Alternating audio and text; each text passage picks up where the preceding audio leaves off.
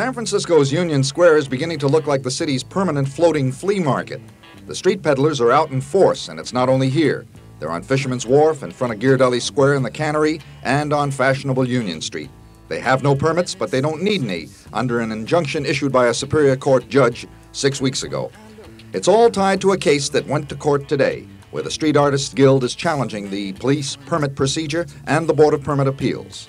The trial is expected to last till Monday or Tuesday, and until then, the injunction stands.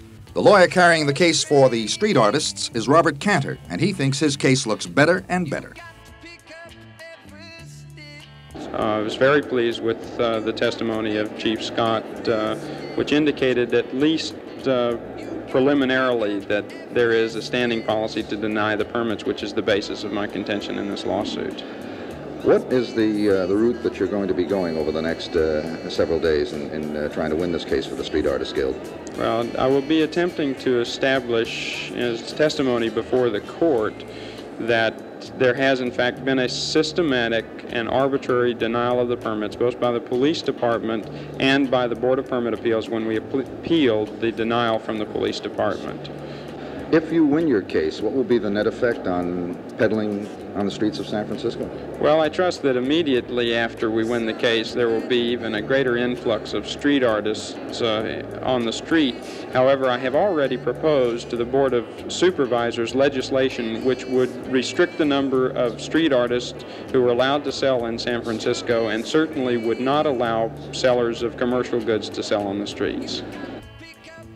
Chief Scott, why is the police department policy not to grant peddlers permits in the city of San Francisco? Well, we grant permits in certain areas, but we certainly we don't grant permits where the effect upon the community is deleterious. It blocking the uh, sidewalks, causing congestion, uh, interfering with the uh, safety of people on the streets. And this particularly uh, applies to uh, the Fisherman's Wharf area and the Cannery and, and Ghirardelli Square. Yes, sir. Chief, will there be any change in, in the police policy regarding the street peddlers who are operating without permits while uh, this trial is in motion? No, not until we get a ruling from the court. So that the, the, uh, the situation will continue as it has for, for the last sub- several weeks and that they'll be permitted to go on selling. The police will not interfere. Yes, that's correct. The ramifications of this case are very broad indeed. If the decision does go in favor of the street peddlers, the whole question of police permit procedure, as well as the powers of the Board of Permit Appeals, could be on the firing line. Ed Arno for Eyewitness News in San Francisco's City Hall.